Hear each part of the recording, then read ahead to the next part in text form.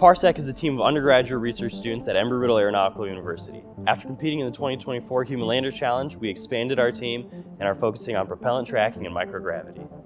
To accurately gauge propellant quantities, current mass gauges typically rely on relatively high accelerations, which works well during engine burns. However, during periods of microgravity, when boil-off can occur, which can last on the order of months for HLS missions, there's a gap in propellant quantity gauging capabilities. Parsec is proposing electrical capacitance to high resolution observation system, or ECHO, which places electrodes inside the tank to take capacitance measurements and reconstruct a model of the propellant.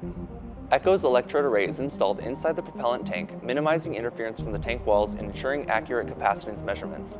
Each electrode is sequentially excited and the voltage on all opposing electrodes is measured.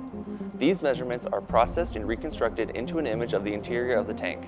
Designed for cryogenic conditions and with minimal invasion, ECHO will provide reliable propellant mass tracking.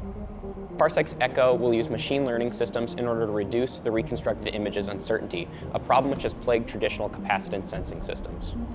To reduce the complexity of the image reconstruction algorithm, ECHO's electrodes will be mounted on the interior walls of the tank to be in direct contact with the propellant.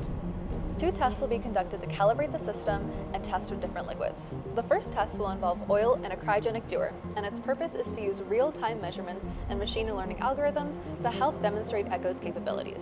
After determining full functionality, we will move on to testing with liquid nitrogen to prove ECHO will be viable in space applications. Further, we have developed a three-year timeline for continued development and commercial implementation. Parsec will move on to testing. In the coming months, we'll perform various tests on a prototype ECHO system to refine our solution. From there, we'll compile our results, conduct our CDR, and author our final technical paper for submission. Thank you.